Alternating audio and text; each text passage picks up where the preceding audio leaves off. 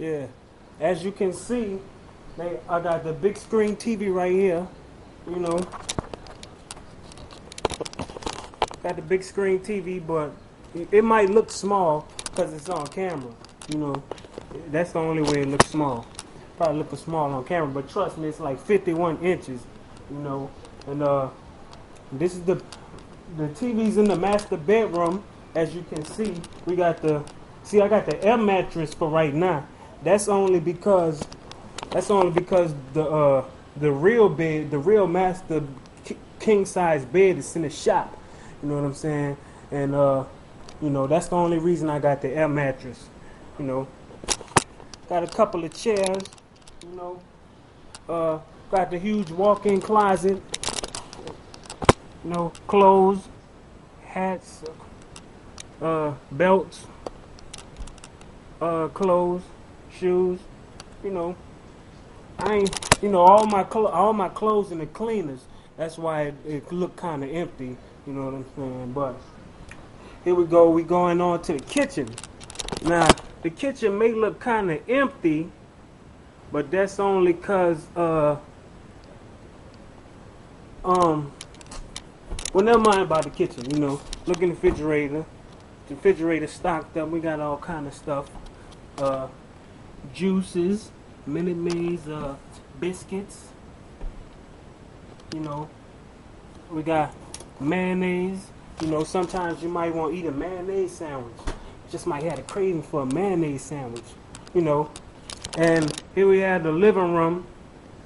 Where the living room looked kind of empty because is it was a home theater system in here, but right now it's in the shop, you know, and the living room set, I'm waiting for my living room set to get shipped here from Japan. It's a special living room set. Only got four of them made in the whole wide world, so, you know, I'm waiting on that. And, uh, yeah, that's why it looks so empty. You know, y'all just caught me at a bad time.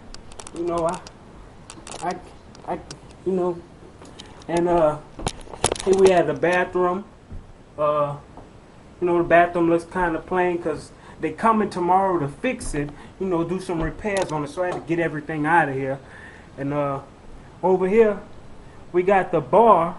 You know, it's usually bar stools and, you know, alcohol. But right now, I'm waiting for my alcohol to get shipped from France. Yeah, France. And, uh, you know, that's why it look kind of empty. You know, because, uh, yeah, y'all come back next week and I have all this stuff straightened out. We got the uh, closet right here. You can't see it. It's kind of dark. There's a ton. Of, yeah, you can't see up in there. But uh, I'll let you know what's up in there. It's all my jewelry and stuff like that. Yeah, all my jewelry and, uh, you know, other stuff of value. You know, too bad it's it's kind of hard. It's kind of dark in that room. I don't feel like turning on the lights. Y'all don't want to see no jewelry. But uh, you know, yeah, let's go out here. You know, this is this is what I call the penthouse.